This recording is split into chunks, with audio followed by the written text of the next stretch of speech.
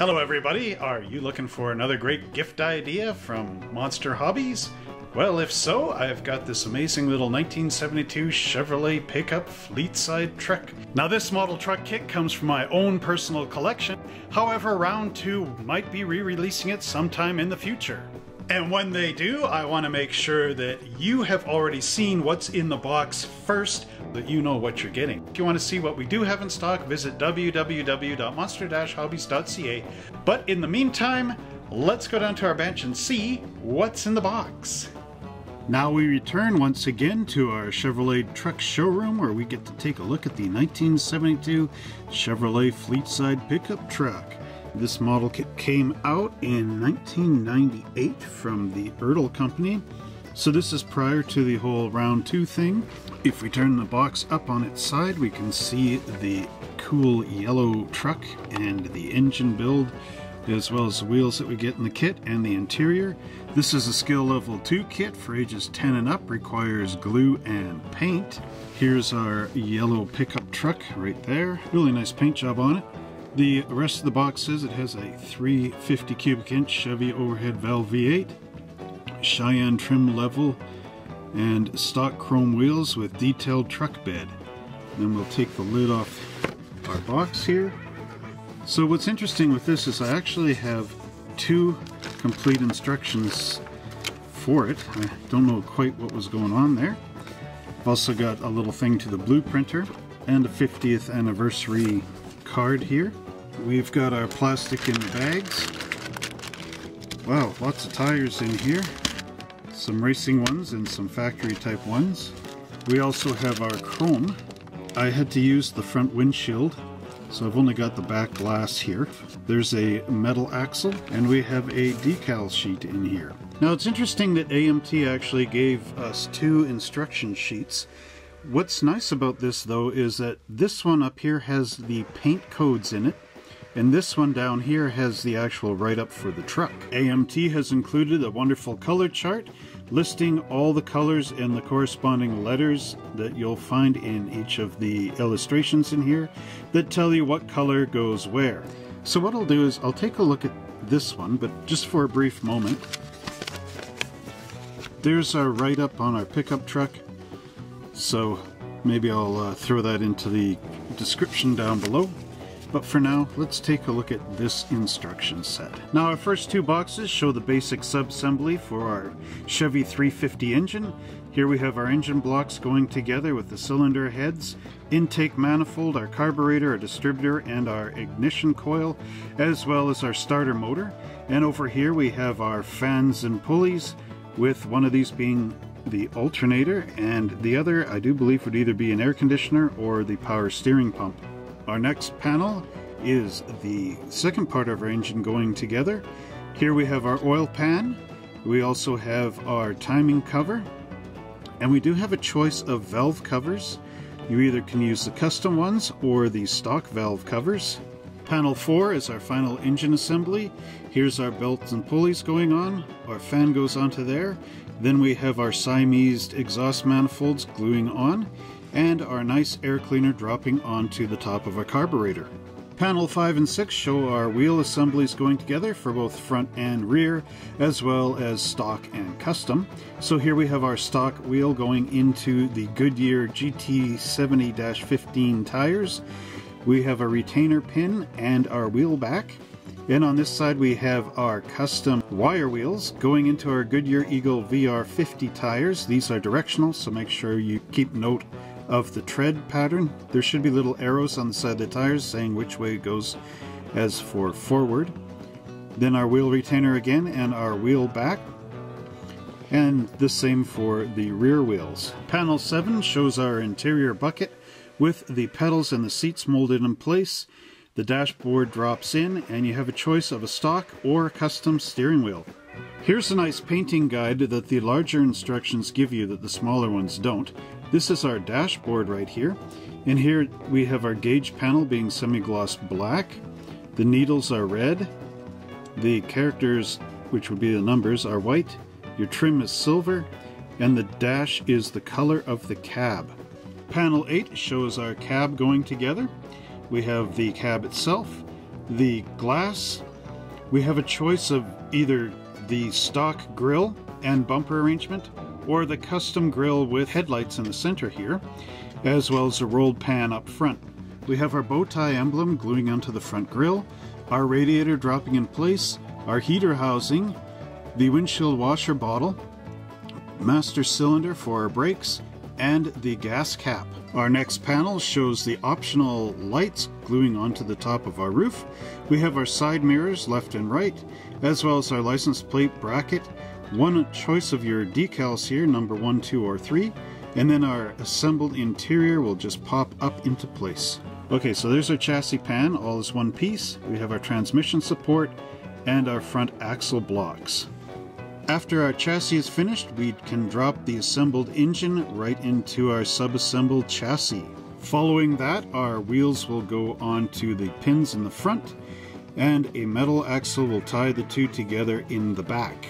This is very nice because you get your front bulkhead and the box sides as well as the box floor separate and we'll see a tailgate as well. There's a rear bumper and license plate with either decals 1, 2, or 3 in it. And to carry on the truck box, we have a two-piece tailgate as well as our tail lamps going in here.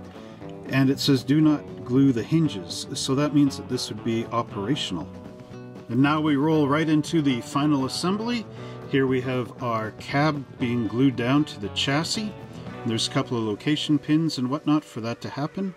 We have a radiator hose going onto the top of the engine as well as to our radiator and then you can close that off with your hood and we do get a tonneau cover and our box will drop right in and there are some little guides to lock it in place just like some of the later AMT trucks. And that will complete our look at our Chevy Cheyenne pickup truck instruction sheet. Here we have the cab for our 1972 Chevrolet Cheyenne pickup. And as you can see, it is nicely detailed, considering this was molded back in the day. Battery is molded into the front fender aprons, as well as our radiator wall support here molded in place, same as at the front. It does have sort of the pins in there, much like a promotional car. The back end, though, does have hooks and holes underneath. You got the nice roof paneling in here, as well as sun visors molded in place. However, there are some mold marks up here. Again, your number 16 hobby blade. Looking at the side trim, again, very nicely done. The side marker light is in there, as well as the emblem in here. And then you've got the nice chrome for your two-tone. Door handles are nice. Overall, it is nice considering the vintage and all of that. You get your grill in here as well as your windshield wipers. Here we have all our gray plastic components with the exception of the cab, our valve covers, cylinder heads, our intake manifold, oil pan, belts.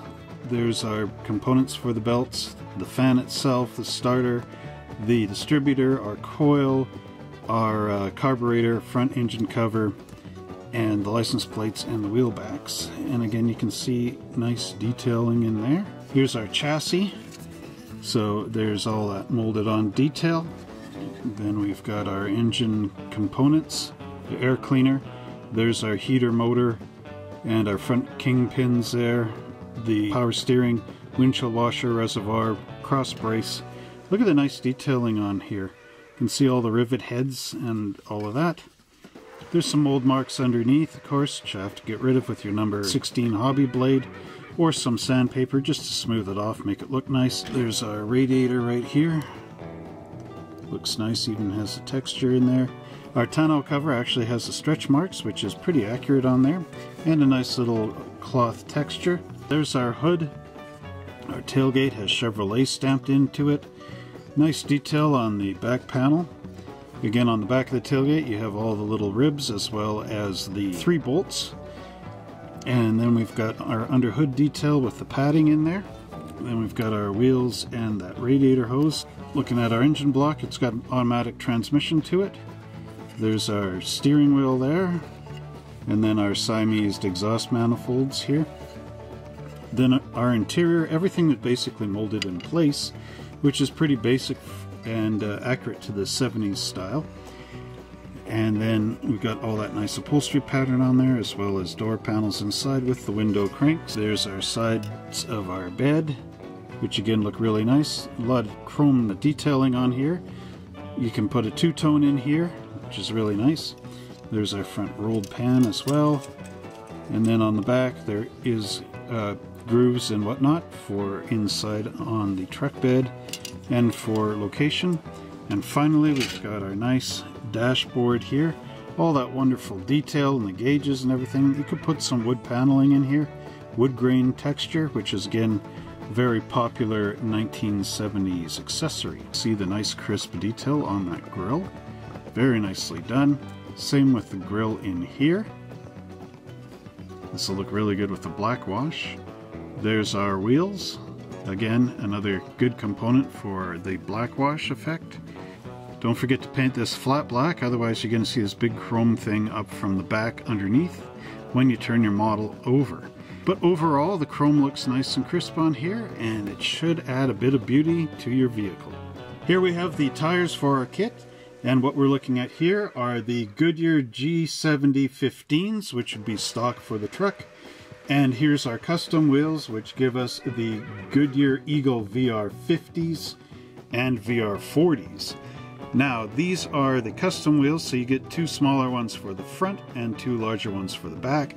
Like I was saying before, they are directional. So that means that our tread pattern here is going in one particular way. There are arrows on the side wall of the tire that show you which way it goes. And you're going to have to cut out this web with your knife. Check out the video I have on detailing your tires. Now on our stock ones, they are nice. We have the original tread going on there, as well as our raised letters, which say Goodyear, of course. We have a metal axle, which will connect the two rear wheels together. And here I wanted to include our decals, which are basically our license plates. Kentucky has 72 fleet side, basically, FLTSD. Here we have Cheyenne for Montana. And then we've got a Pennsylvania tough truck. And I do believe these license plates are a little bit small to what the actual license plate would be. So again, you can either choose to use these or find some from your parts box. And that completes our look at our 1972 Chevrolet Fleetside pickup truck by AMT Ertl. And if you've built this model kit in the past, why not share it with us on our Facebook page? I'll leave the link in the description below. Well, I hope you enjoyed that unboxing video where I got to show you this amazing 1972 Chevrolet Cheyenne Fleetside pickup truck by AMT Ertl. And if you want to check out all our available model car and truck kits, visit us again at www.monster-hobbies.ca. I'll leave our model car link in the description below. And until next time, everybody, don't forget to like, subscribe, and share. And we'll see you on the next review. Thank you all for your support over on Patreon. I'll leave the link for that in the description below as well. Again, if you want to share some great stuff with us, do it on our Facebook page. And until next time, everybody, happy model building.